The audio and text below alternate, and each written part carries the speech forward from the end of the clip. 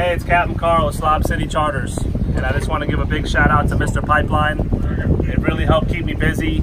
Um, in my second full year of doing charters, and I'm currently booked over 200 days a year, uh, and I owe it all to them. So if you check them out, uh, if you're looking to get a lot busier with your business, check out Mr. Pipeline.